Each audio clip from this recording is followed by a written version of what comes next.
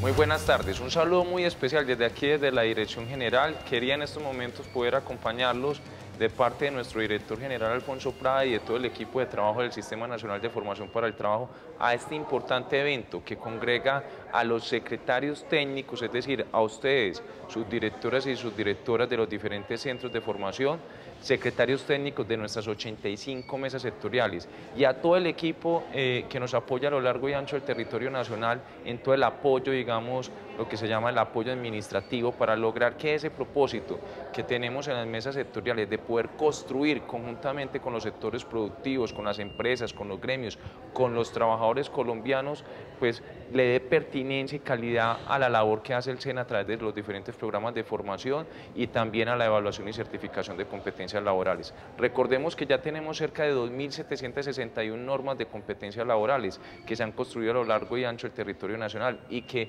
mensualmente estamos actualizando unas normas de esas y estamos también construyendo otras normas. Ya en lo que va del año hemos logrado, digamos, están en proceso más de 500 normas están en proceso, pero tenemos que ser muy rigurosos para que semana tras semana, mes tras mes, podamos cumplir la meta de lograr que al finalizar este año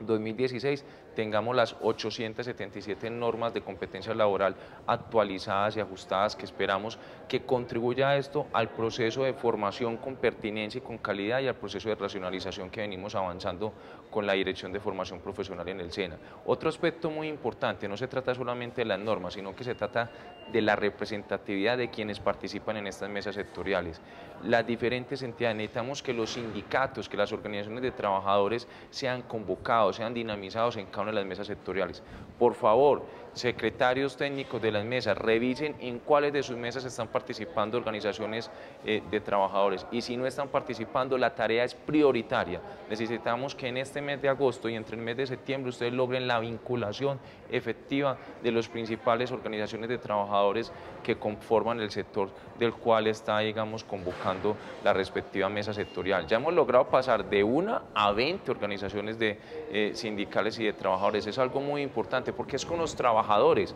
que se construyen las normas de competencia laboral, es con los empresarios, con los dirigentes, porque son ellos mismos los que van a, a ser beneficiarios de estas normas de competencia laboral en materia de pertinencia y calidad de los programas que ofrece tanto el SENA como ustedes saben que hay otras instituciones de formación para el trabajo en el país que se sirven y se apoyan en estas normas de competencia laboral que construimos conjuntamente con ustedes. Y ahora la labor muy importante, la vinculación de diferentes entidades, de centros de formación e investigación para trabajo,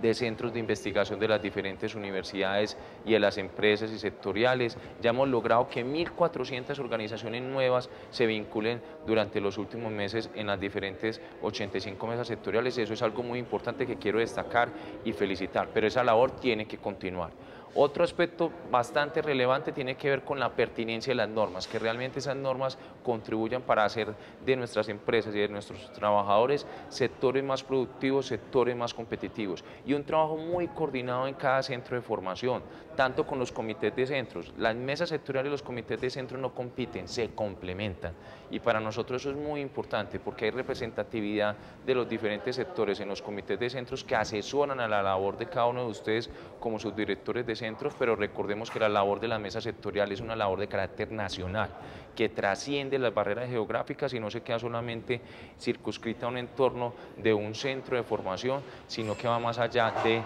el entorno de ese centro de formación, más allá de esa ciudad, de ese municipio, de ese departamento y son trabajos que se hacen de manera sectorial para todo el país. Entonces esa es la invitación para que aprovechemos estos días en hacer un trabajo muy organizado de eh, revisar cada indicador, cómo va cada meta, cómo la estamos cumpliendo y qué vamos a hacer para que en agosto, septiembre, octubre eh,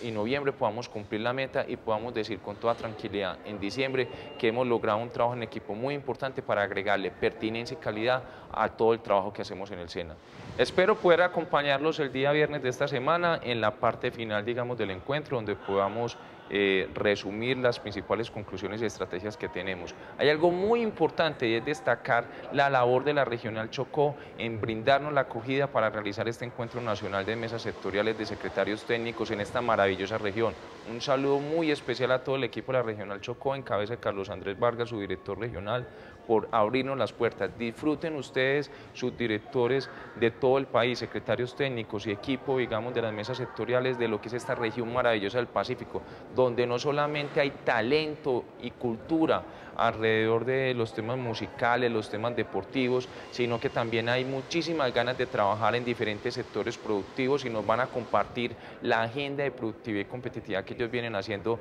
desde más de 27 municipios del departamento. Entonces, un saludo muy especial y estamos felices de estar desde el Pacífico, desde el Chocó, desde Quito, diciéndole al país que estamos construyendo sectores más productivos, empresas más competitivas y trabajadores más productivos y competitivos a través de las mesas sectoriales.